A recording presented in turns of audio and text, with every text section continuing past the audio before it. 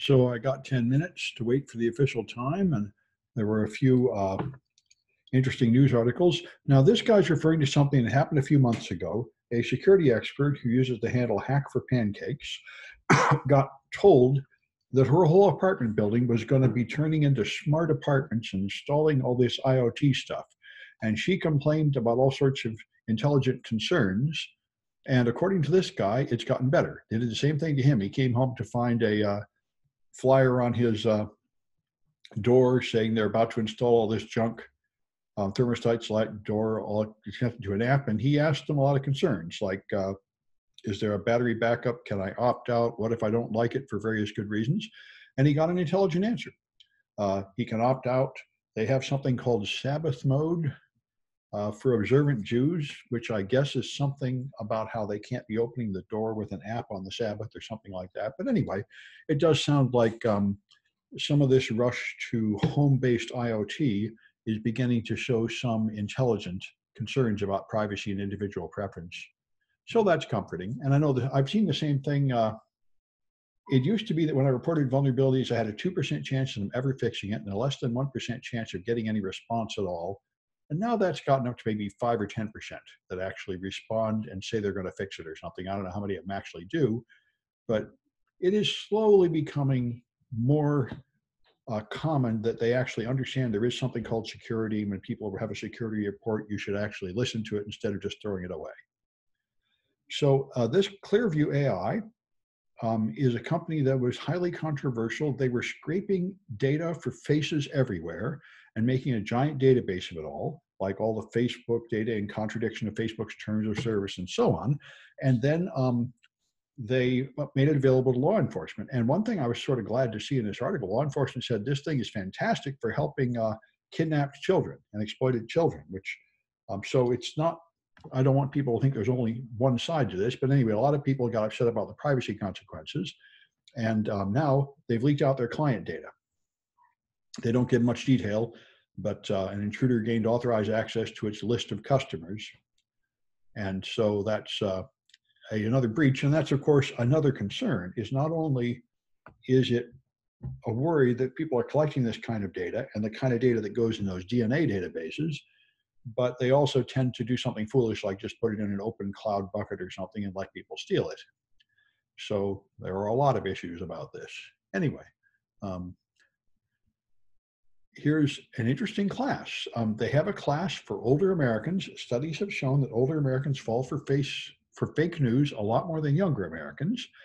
And they're giving them classes where they show them fake stories and then send them to places like Snopes.com where they can research them and teach them how to test for the accuracy of things on the internet.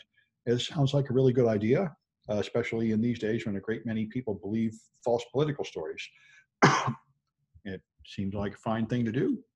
And I'm sort of like the education angle. Um, so Huawei can no longer get Google software like Google Apps on their phones because of the American embargo against Huawei. And so they had made their own Android Play Store and they claim it is popular, which I'd imagine it probably is true if you can't get the other one in China. I've heard all along that there are special third party stores you go to in China, which is a gigantic market because they can't connect to the Google store. And um, so, anyway, they have their own marketplace. I know I haven't looked at this one, but I have looked at the Kindle Fire marketplace, and it is just hilarious. The apps are two years out of date. They don't have any patches. It is. Uh, I always thought that if I can't find good vulnerable versions of apps to hand out to people, I just go there. I think they're all pretty vulnerable. And I guess there are yet more third-party Android marketplaces. And the thing that concerns me about them, of course, is not only are they probably full of malware, like all Android marketplaces, they're probably never updated properly. And I uh, wonder if the people that write the apps or even the people that put them in those stores. Anyway, there's a raccoon malware that will infect your computer and steal data from all common browsers, apparently. Sounds pretty good. It would be fun to find out how it works. Not apparently not very complicated, written in C++, and it will steal even from things like Opera and SeaMonkey and UC browser, even uh, not what you think of as the top browsers, and it'll steal the data from the wallets and so on. Uh, be, I'd certainly like to uh, analyze this stuff. Good to find out more about how it works. Uh, the MI5 chief is asking again for access to encrypted messages. Um, as usual, most people are dead set against this and say it should totally be blocked, and I'm not so sure. He even mentions, people have mentioned already, um, something that uh, Steve Gibson said on Security Now that I thought made sense, is that WhatsApp already has the ability for three-way encrypted chat. So they already have the technology to send a copy to a third party, and that third party could be an invisible copy for the cops.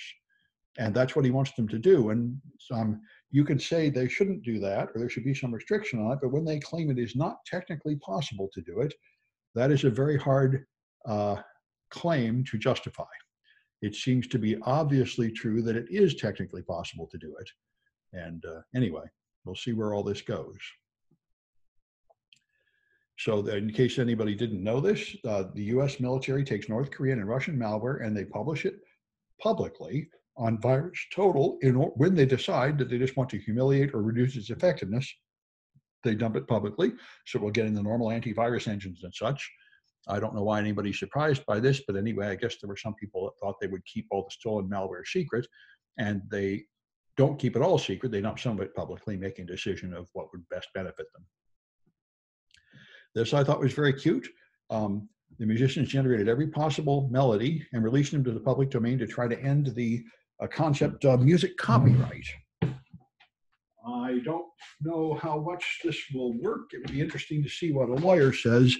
I saw a cartoon strip 10 years ago that, I, that had a version of this where a guy writes one song called Zero and one song called One and copies them both and then claims all the music in the world. I imagine that courts will not accept this, but it is a kind of funny idea. So this company called PetNet had some kind of internet connected dog feeders. Why ever you would do that, sort of like the internet connected toilets that I'm hearing a lot of ads for. But anyway, then they went offline, so they quit working. And then they didn't even answer any of the protests of uh, people using their stuff for about a week. So uh, this is one of several cases of this. You buy some uh, junky Internet of Things stuff that you count on, and then the company just abandons you. There was a thermostat, I think the Google thermostat, the Nest, I think, where they announced it was um, going to become obsolete and they were going to stop supporting it, and all the money people had invested in it would be lost. There's quite a storm about that, although I think they said at some point that it would continue to function to some extent, but you lose the advanced functions or the ability to configure it or something like that. I saw this earlier. Um, the cops put a GPS tracker on somebody's car claiming they were a drug dealer.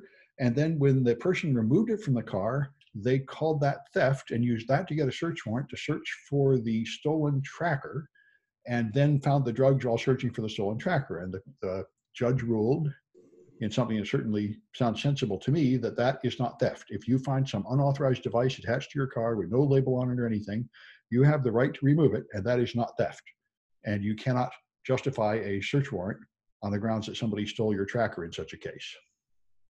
That's somewhat comforting, I suppose. And uh, this one I thought was very interesting. Um, the apparent, this was apparently talk at RSA. I didn't go, but they summarize it here. They found a lot of uh, credentials being mismanaged, and they mentioned um, SSH keys. Uh, engineers typically connect in with SSH keys, but apparently they're not keeping track of them. And he said they found one company had 4 million SSH keys and they had no idea who was using them or how many of them were really invalid or how many copies had been made of them or anything. And that, of course, is a bad thing. Uh, this is why uh, it is real useful to achieve compliance where you actually have to keep track of how many employees you have and who are they when they log in and keep a log of it all and audit it all. It's a whole lot of work to get organized like that. But until you do that, it's ridiculous to think you can secure your stuff. Just like you have to do an audit and find out how many copies there are of your sensitive data if you want to have any control of it. Anyway, that uh, thought Scalia Gene GPS tracking illegal. I do not know about that one. Uh, that is an interesting issue. If um, I don't know. I'd be interested to see articles about that, uh, Jimmy. Um, I think the cops use a lot of identity, location tracking with and without warrants all the time. So I think quite a lot of it is legal. Uh, I think there are some restrictions on it, but um, certainly they do place trackers on cars. So it's possible to get some kind of legal authorization for that, but I'm not sure exactly what you have to get. All right. Anyway, we're up to 10 minutes after. I'm going to go to the official content here. So I'm doing my classes only by Zoom this week because I've got a strange, nasty cold and I don't want to be spreading it in a time when everybody is very nervous about these things. So I'll just do the classes remotely this week and hopefully be back in action as normal next week. And so today we're going to just finish up. We're here. We're going to finish up attacking Android applications. And uh, I've got the slides here. It probably won't be a very long lecture, but I, I do want to cover these topics. These are the leftover ways to attack Android applications. And these are somewhat exotic ones of which we've only put a few in the projects, but I always try to put in the projects as much as I can. So we're in the third section here, storage and logging, insecure communications, which we do cover, and other vectors and additional testing techniques. I should mention uh, that one of the students has been finding yet more hidden secrets inside apps, um, more API keys. So I'm going to continue to research that, and I have written two API projects for the Thursday class, and I'm it's turning out to be far more difficult than I had imagined to really get APIs to work correctly and understand exactly how important the secrets are. It's going to take a while. It's pretty easy to find secrets hard coded in apps. It is much harder to decide exactly how dangerous they are. Anyway, so storage and logging, we've talked about this. There's local storage where people put things. The file and folder permissions are the standard Unix permissions. So if you do LS minus L, you have RWX, RWX, RWX, and where you see a letter, that activity is allowed. And Where you see a dash, it is not allowed. So this um, packages.list has read write permission for the owner and read for people in the same group as the owner and no permissions for anyone else. Um, the last three are what you call world readable, writable, and executable, where you let everybody in the world access it. And in general, that's considered a bad idea. So uh, you can do it with numbers. This is in base eight with one, two, and four for adding up to seven here and one, two, and four and one, two, and four. So 777 is world readable by everybody. 755 is everybody can read and execute it, but only the owner can write to it. And 644 is what you might do for a public data file. Everybody can read it, but only the owner can write to it. Those are probably the most common combinations you see. Uh, there is this weird thing called a UMask, which determines the default permissions for newly created files and folders on the system. The uh, default permissions are the opposite of the UMask for some reason. So if the UMask is 7.7, then everything by default has the opposite, read, write, execute for the owner, but no permissions for anyone else. Anyway, um, you can adjust the UMask on any Linux or Unix-based system, and that will change the permissions of newly created objects, but this is the default value. Another issue is traversal checking, which is on in Linux and Unix and off by default in Windows, which says that if you put an object in a folder, it is only readable by people who have read permissions to that folder and all the containing folders. So the, this is not true on Windows, which is strange and bizarre and has bad consequences, and therefore it's on in Unix. The idea being if you make a folder and you make it private, then even if subfolders are created in there later, they're still private until the containing folder has its permissions changed. All right, so DroidWall is an example of the many times almost all privilege escalations rely on this single flaw that you have some high privileged application which is taking, which is running, and there is some way to inject data or command into that application, even the lower privilege. So DroidWall is some kind of uh, Android firewall using IP tables, and it made a script with 777 permissions. And therefore, this means not only can everyone run it, but it always runs as root, and everyone has write privileges to it, which is the problem. There's, I don't see why any low privileged users should be allowed to write to it. And so what you could do is you could just write commands into this file and the DroidWall app would eventually come by and execute what was in that file. So it was a way to trick the system into running high privileged commands. Uh, Android has the ability to encrypt files, but if you, the most common case, just like uh, most SQL transactions. If you use something called SQL Cipher, you can encrypt it. But if you look at the official documentation, the example tells encrypted here with a password of test123. So if you just follow the example, you're hard coding the key in the app. So all people have to do is run strings on your app, and then somewhere in there is the real key, and so they can decrypt it. This is the kind of thing I've been talking about for the last several weeks. These hard coded keys in apps. A lot of people use them. It is the easiest way to write code And um, I'm planning to go a lot more deeply into it if I can. It's going to be my next project for this class and the Thursday class to really understand those secrets and come up with some good references and example vulnerability reports to try to make it very clear, explaining to people what they should do instead and why they should stop doing this. Anyway, uh, you can also put data on the SD card. I don't know how many people still have SD cards in the phone, but anyway, SD cards are formatted like floppies. They don't have any intrinsic permissions available on the SD card, so the only permission is the operating system. And in early versions of Android, I think before 4.4, you needed a permission to write to the card, but you didn't need any permission to read from it. All everything on the SD card was world readable. And I know at that time, the Nessus app actually put a password on the SD card where everyone could see it, which was pretty much an embarrassment for security product. Now, 4.4 and later, there is a special permission needed to read external storage. So that gives you some control of it, although it certainly is not granular. It doesn't appear to be any way to specify which application would be allowed to read each file or anything. In general, I don't know why you're putting anything on the SD card anyway. It's a, considered a pretty unsafe place to put things like the log. Uh, so WhatsApp stored its database on there, and uh, they used custom encryption, which is another lame thing everybody does. So they encrypted with AES, but that just means you have to hide the AES key somewhere, and they just used a static key which was found, so a hacking tool could just decrypt it. Uh, that is true of something like half of all the apps I've examined that they encrypt something important with private key encryption, and then they hide the key someplace you can find it. So it's not really a whole lot better than storing it in plain text. And we've been doing a lot of this in this class, putting Trojans in apps to log secrets, which is considered a poor activity. Although, to be fair, uh, after Android 4.1, logs are no longer available to every app on the phone. So you could argue that putting things in the log is not such a bad idea, but it certainly is not recommended. All right. And so you can actually grant this permission to something so it has permission to read the logs, but you have to be root to do that. And then we talked a lot about insecure communications. Of course, if things, unencrypted data is sent out over Wi-Fi, then all you have to do is run Wireshark and sniff in promiscuous mode or get in the middle and run burp or any of a lot of things.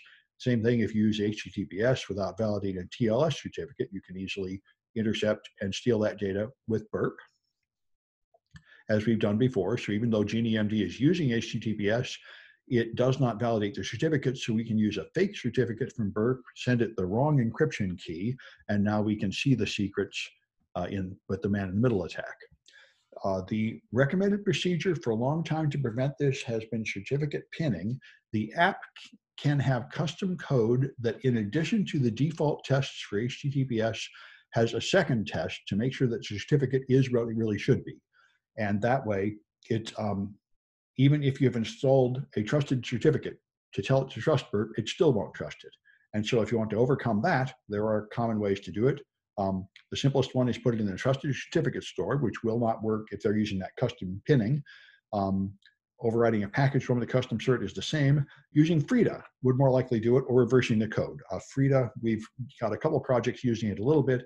Frida hooks the operating system calls, sort of like moving your app into a virtual machine, so that when it makes operating system calls, it goes to different code that does something different than it's expected to. And that's one way to hack apps without actually changing any of the code in the app. And then there's the activity we've done quite a bit in the project where you actually modify the code, recompile the app, and create a modified version of the app that no longer contains the test.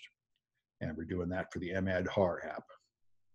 Uh, so a lot of apps are distributed with broken HTTPS. They don't really validate it. Um, so it's pretty rude. They've either coded it with some kind of dummy uh, module that always says the app is matched or something else of that nature. They've somehow invalidated it and then left it that way for final distribution. Uh, web views is another thing in quite a few of these apps where you can open a page, it's actually a web page, but it opens inside the app. This gives a better user experience than leaving the app and going to the browser, which kind of causes you to lose control of your customer. And it technically uses WebKit or Chromium inside the app. And so it's now running a little browser inside the app. And you can now just do things like disable TLS. You can, inside your app, you can define a web settings class that controls how this works. So you can specify that it's allowed to contact content providers like databases, um, it's allowed to access, you can call it from file URLs. Uh, you can let JavaScript run inside your app's internal WebKit browser. You can turn in plugins like Flash, although I don't know how many people are still using Flash. And uh, you can even save passwords in the web view, which would save them somewhere in your app's directory, I guess.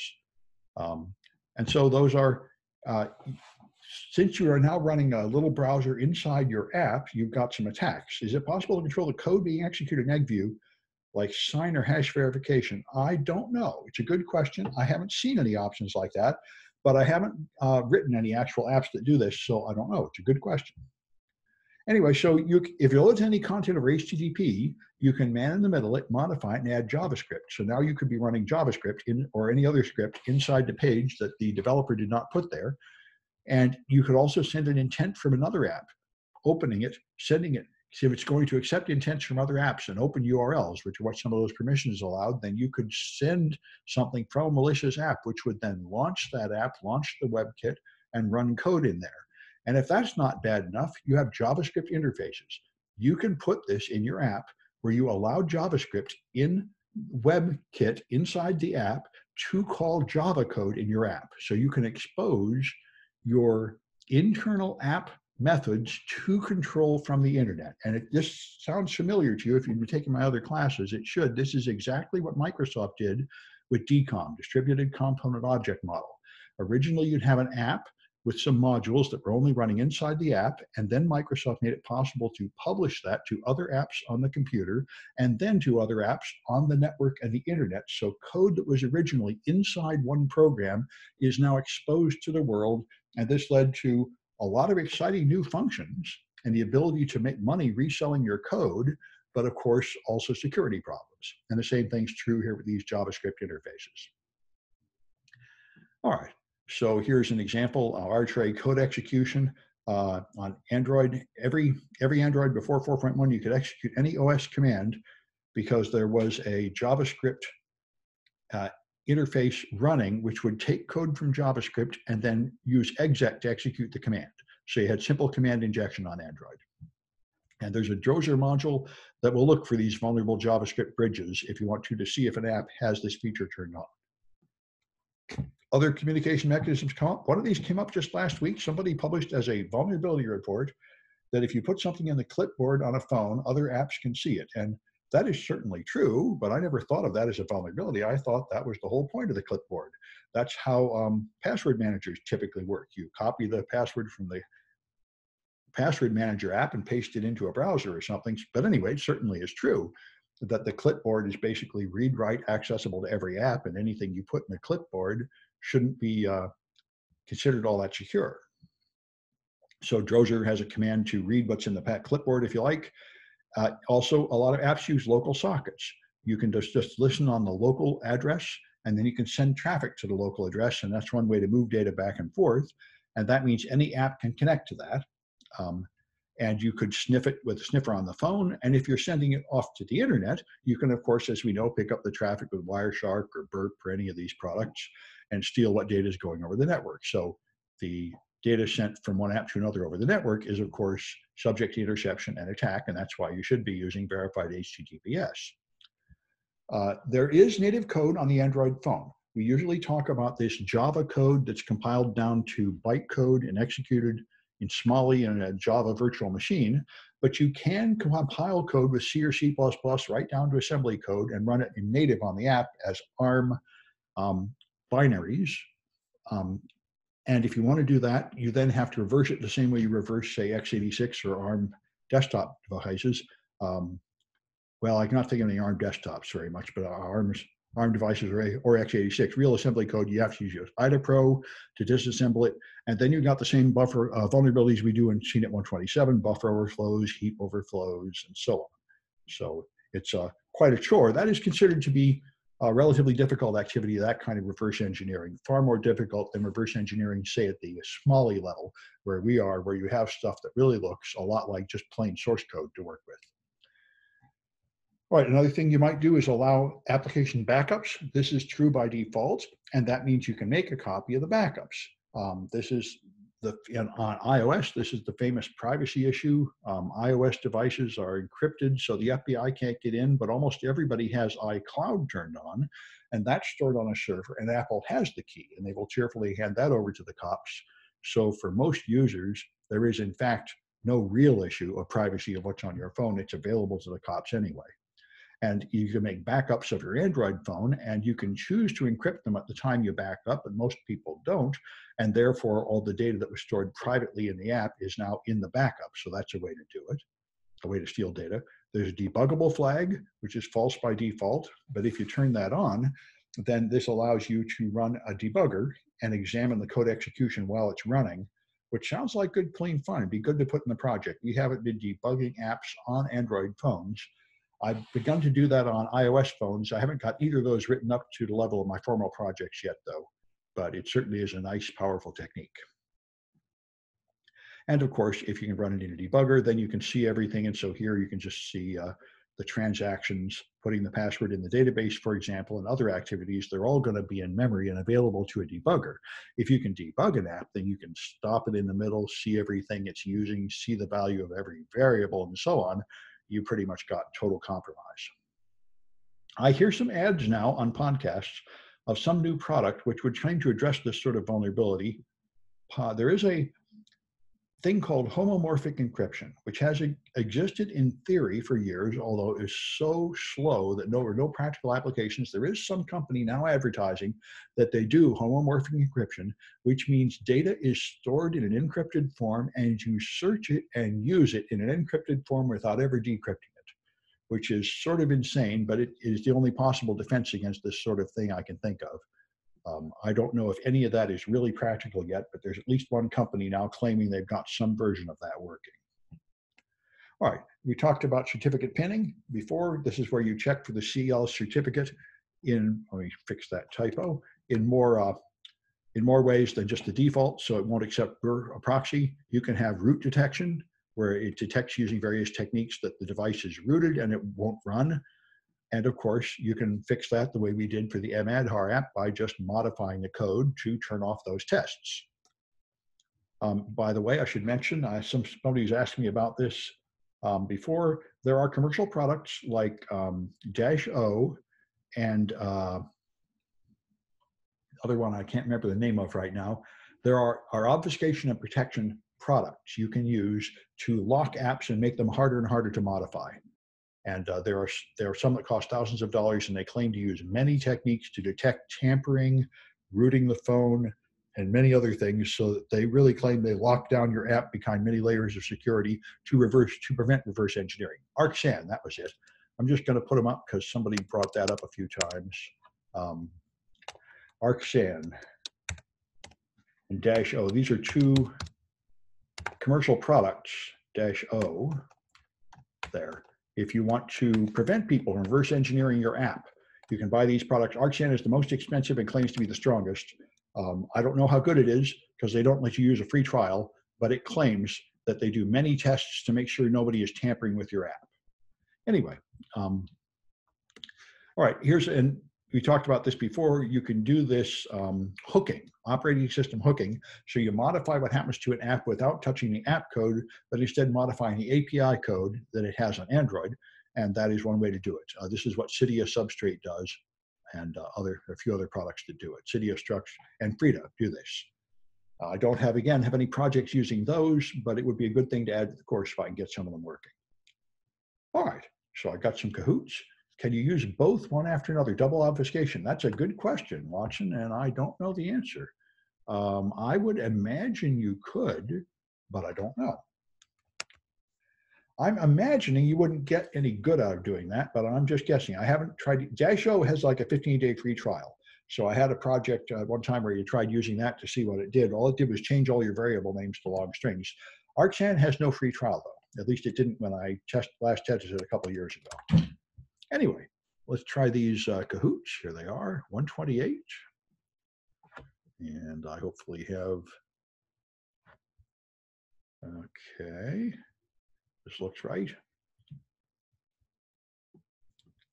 I know running two firewalls at the same doesn't do any good. I kind of doubt the two layers of obfuscation would make it better, but I don't know.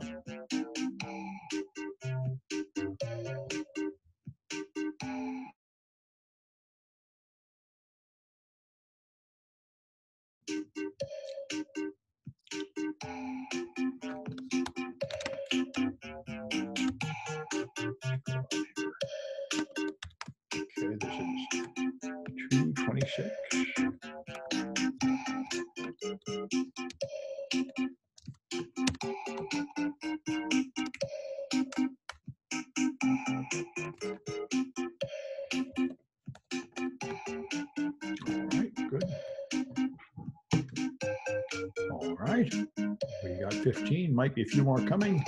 Might be that a bunch of them are asleep. We'll see.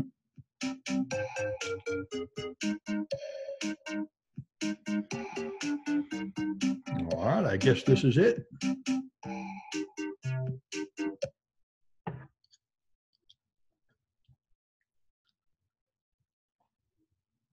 All right, which is the component that allows code execution via JavaScript.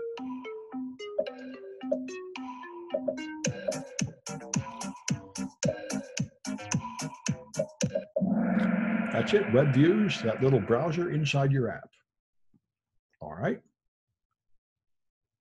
Which data was widely available but then restricted after Android 4.1?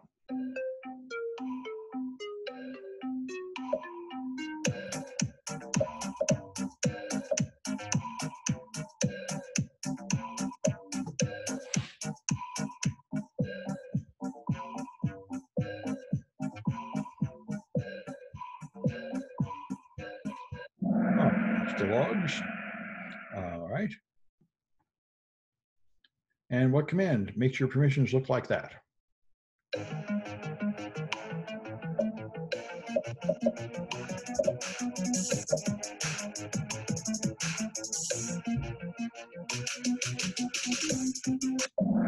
That's it, 644.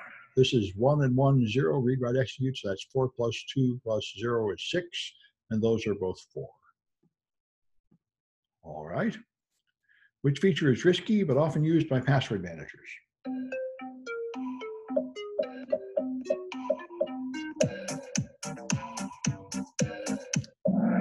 Clipboard, of course. All right.